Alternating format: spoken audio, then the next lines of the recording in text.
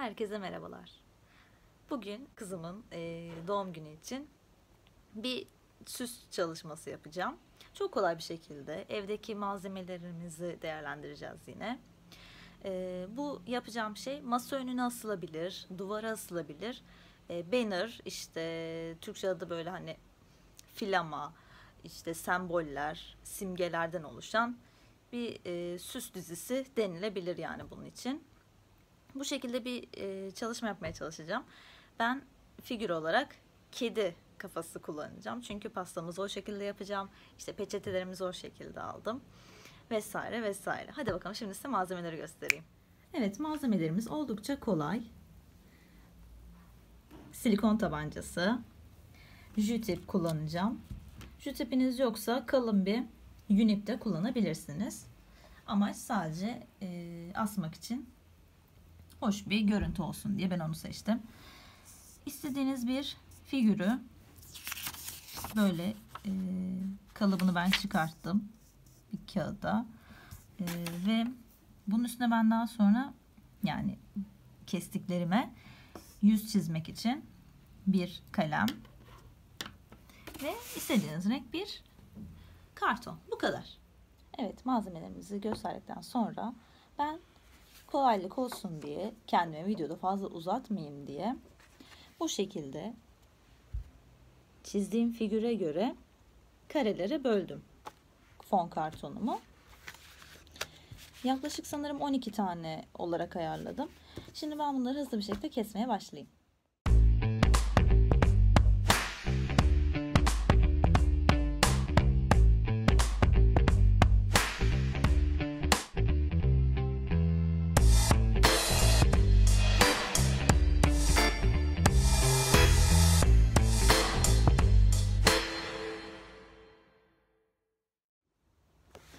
Evet, ben kedilerimi kestim. Bu şekilde tam e, 9 tane kestim.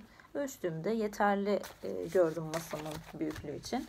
Şimdi bunlara e, bıyık, burun yapmayı düşünüyorum. Bir de belki kulak içi şöyle yaparım diye düşündüm. Bakalım nasıl olacak. Şimdi ben kendimce bir tasarım yaptım. Buraya bunun üstüne nasıl gözüküyor diye. Şu şekilde düşündüm. Tabii ki tam özenle çizmedim ama pek hoşuma gitmedi bu. Bilmiyorum. Tombul miskin bir kedi gibi durdu. bir de arkasına şu şekilde denedim. Bu daha hoşuma gitti ya. Daha havalı duruyor bence. Daha güzel. Burada şablonun üstüne de denemiştim. Evet sanırım bu şekilde yapacağım.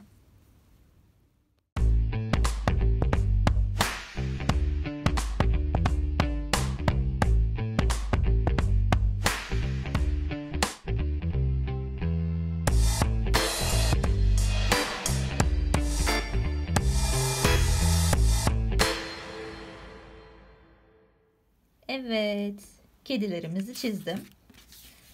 Hiç öyle uğraşmadım arkadaşlar. Hep, hepsi bir tornadan çıkmış gibi olmasını istemedim. Hepsi farklı farklı. Bıyığı, burnu bile farklı farklı çizimlerimin. Bu kadar. Bunlar hazır. Şimdi şu tipimden de bir miktar kestim. Bunu da masamın uzun kısmını baz alarak kestim. Şu şekilde bombeli durması için de tabii ki biraz pay bıraktım. Böyle hazırladım. Şimdi bunları ipimi yere sereceğim.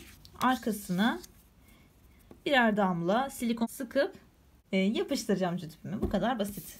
Hadi bakalım. Şimdi yere serdim ipimi. Üstüne de şöyle gelişi güzel kedilerimi yerleştirdim. Silikon tabancam ısınsın.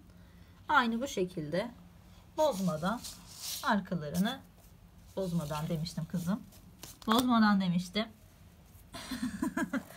arkalarını yapıştıracağım. Evet. Şimdi ilk kedimi aldım elime. Allah'ım hem çekiyor, çekip hem yapıştırmaya çalışacağım bakalım. Evet. Şu kadar bir sıktım. Ardından bir miktar şöyle bir boşluk bırakıyorum. Ucundan yapıştırmayacağım hemen. Şöyle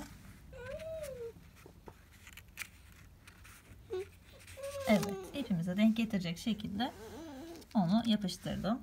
Bu şekilde ben bu diziyi tamamlayacağım. Evet. Tamam mı? Tamam mı? evet. Yapıştırdım. Hepsi bitti çok şükür.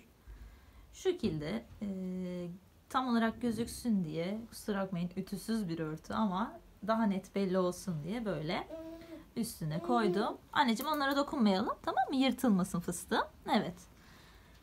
Böyle kolay ve basit bir şekilde bannerımızı oluşturmuş olduk. Beni izlediğiniz için teşekkür ederim. Kendinize iyi bakın. Hoşçakalın. Bye bye.